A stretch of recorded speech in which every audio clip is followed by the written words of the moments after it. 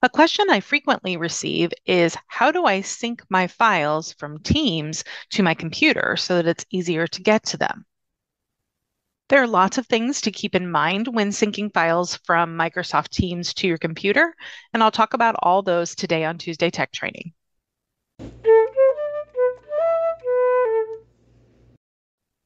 Hello and welcome to Tuesday Tech Training. My name is Jennifer Stewart. I'm the owner of Gateway Productivity and I'm a tech and productivity trainer. Today I want to show you how to sync your files from Teams to your computer. The first question you might ask is why would I want to do that? The reason is that when you have a, let's say, folder from Microsoft Teams files, saved on your computer, you can make changes within that and it will automatically sync to Teams. You don't have to always go to Teams to get to these documents. You'll have a folder on your computer right there. And then whether you are collaborating online with someone on the document, whether you're in Teams working on it, or whether you're on your computer, all of those changes sync. The next thing I want to give you is a few warnings about doing this sync. When you sync a file from Teams to your computer, as I just said, everything syncs. So any change that you make on your computer syncs to Teams and vice versa. So for instance, if you have synced a folder and several other folders inside that to your computer, if you delete one of those folders, it deletes it on Teams as well. So you have to be very careful when you're working within the folders that you sync to your computer. The same goes for any files that are in these folders. If you delete a file, it deletes it on Teams as well. Now that you have the warning, I will explain how this works. It uses the OneDrive sync engine. So you may have noticed on your computer that you have OneDrive. That is just for you. That's just your documents. That same OneDrive sync engine runs the sync from Microsoft Teams files to your computer as well. So don't let that confuse you as we go through the process. That sync engine is just what runs the sync, which means going from the online to your computer and vice versa. Let's look at a quick demonstration of how to sync your files. Here we are in Teams, and I'm in the Teams area. So the first thing you want to do is navigate to the files that you want to sync. I want to go to my general channel for the Gateway Productivity team, and I'm going to go to the Files tab up here. And you can see we have many things stored in this file. I would like to have all of this sync to my computer the way I do this is once you see exactly what you want synced. So if you want the 2023 folder only to sync, you want to go inside that folder. Right now, that folder's empty. But if there was something in there, you could sync from here and it would only take this one folder. So it's always what you see is what will sync. That's the first thing to keep in mind. Now that we see exactly what we want to sync, I'm going to click the sync button up here. And it will give you a little notification, and then it will connect to that OneDrive sync engine that I talked about. And it automatically should pull in the email address that's tied to your Teams account. So we'll go ahead and sign into that. Once you have your password in there, you can sign in.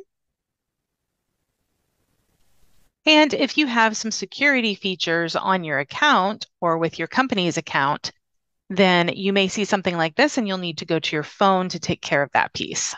Once you've entered all the information that you need to, you'll be brought to this screen. And this will show you where it's going to save that folder. And here we can see that it has the company, which is Gateway Productivity. And then this here is the team dash the channel. So now we'll walk through some of the informational pieces that OneDrive's going to give you. Once you've gone through all of the OneDrive screens, then you may be brought to this area and you could close this out. And if it doesn't automatically open your folder for you, you can do that down here with your File Explorer. I have another one open, so I'm going to open this here. And then now if I scroll all the way to the bottom, and yours may not be all the way to the bottom, but it'll be close, you should see a little building icon with the name of your company. If you click on this, then the inside this folder is exactly what we synced. So now you can see if I drag this down, the things that are in Teams are also in this folder on my computer. Now, let's say that you didn't actually want every single folder syncing to your computer. For instance, I don't need the historical data in 2021 or 2022. In order to change this, I will go down to my bottom bar and go to this bottom right area that has all of your different little icons. This tells you the things that are running on your computer. You're looking for the blue cloud. We can click on this and I'll move my picture out of the way. Once we do that, this is telling us the syncing status of all the different things that are inside that folder. If I want to change what is syncing, I can go to the gear here and choose settings. Then I'll move my picture one more time. And it may start you here in the sync and backup area. It might take you to account. Account is where you want to be. This gives me the information that I have a OneDrive that is completely separate. This Gateway Productivity Dash General is what I want to pay attention to. And we can see that up here, Gateway Productivity General. And so I can choose which folders I want to sync. So I'm going to remove 2021 and 2022. I'm going to say OK. And as a reminder, the reason that we want to do this this way is if I had gone in and deleted 2021 and 2022, those folders would have gone to my recycle bin and they would have disappeared from the Teams folder. They would have gone to a recycle bin there as well, but you don't want to do that to your coworkers and your team. So instead, the right way to do it is to go to this OneDrive Sync Engine, go to Account, and then go to choose folders. Again, the great thing about doing this sync between the Microsoft Teams files and your computer is that if I come in here and I go to the testing sync document, I make changes, that will carry over automatically to the Teams document because they are synced together. Are you learning something new from this video and you'd like to see more videos? If so, click the subscribe button that's below the video. Once you do that, you'll see a bell icon. If you click on the bell, you'll receive notifications each time a new video is posted. If you get to the point where you no longer need a synced folder, you can come to this same place. We'll do this again so that you can see it. We're going to go down here to the blue cloud. We're going to go to the gear and then settings and then account and again, we're paying attention to this one, which is our Gateway Productivity General. And I'm actually going to close that in the background so that it doesn't get confused because I'm going to remove this from the computer. So this time, instead of choosing folders, I actually want to stop the syncing. So I'm going to choose that. It will give you a little heads up of what's going to happen, and I'm going to unlink the account. And then it will probably bring you back here to try and set something else up. You can close this if you don't need to do that. Now, if I go back to my File Explorer, you can see that the little building icon has gone away. The last thing I want to explain is what the syncing icons mean. Once you have that sync set up between your computer and the Microsoft Teams files, you may see any number of these different icons. The first one, the little glimmer, which is the three little blue lines, just means that this is a new file. A red circle with a white X means that the file or folder can't be synced, and there should be information down. Remember, if you go to the blue cloud and go there, it should tell you what needs to happen. If your cloud at the bottom has a slash through it, that means you're not logged in currently. You can click on the cloud and log in. The cloud with a pause symbol means that files are not currently syncing. And we saw that as an option. I'll go to my personal one so you can see this. Here you can see if you go to the gear, there is your pause syncing option, and you can choose how long to pause for. So if you see the little pause icon on the cloud, that means you've just paused syncing. And this can be helpful if you are working on something and the, the syncing is slowing down your computer for some reason. If you see circular arrows like this, that means there's a sync in progress for that file or folder. If you see a people icon next to the cloud, that means the file or folder has been shared. The cloud just all by itself means the file or folder is only available online. Now, this all is the same information if you use OneDrive. So this carries through to OneDrive, SharePoint, Teams, all of those types of synced files. If the cloud is just on its own, that means that this is something that lives online.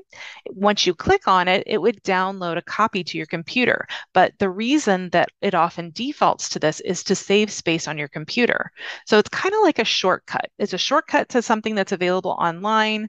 As long as you're on the internet, when you click on it, it'll make a download. If you're not on the internet, when you click, it'll give you an error because it can't reach out and get it from the cloud. If you see a green check mark, then this means that at some point you have clicked on the cloud and a file has been downloaded to your computer, but you have not indicated that you always want it to remain on the computer. That is the fully green bubble with the white check mark. That means you have chosen to always keep this file on the computer. Let's see how this looks in action. Now we're back in the folder on my computer that is synced to Teams. And what I can do is right click on a document. And this little section here will be about the syncing. This is where I can say always keep on this device. If I choose that, it takes it a second. You see the blue circle, the blue arrows in a circle, and then now you see the solid green with the white check mark. This means that I have told the OneDrive sync engine that I want this document to always have a hard copy on my computer and not necessarily just live in the cloud. You can see these other documents still have the clouds, which basically means they're a shortcut to the web version of the document. However, if I open this, I just double clicked on it to open it. And here's our document. When I close it, now you can see this has the white circle with the green check mark. Again, that was because I opened it once, which means at this time there's a copy on the computer, but I didn't indicate that I always need to have a copy on the computer. And now I could go and right click on this once I'm done looking at it.